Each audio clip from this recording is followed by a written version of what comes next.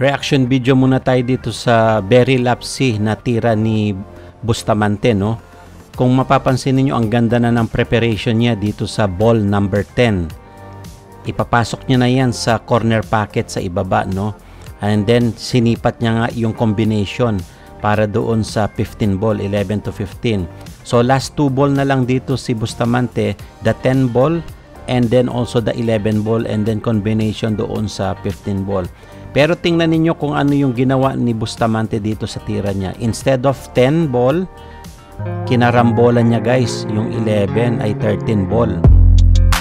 Kaya nagkaroon ng puwang dito si Efren Reyes para matalo niya si Bustamante, no?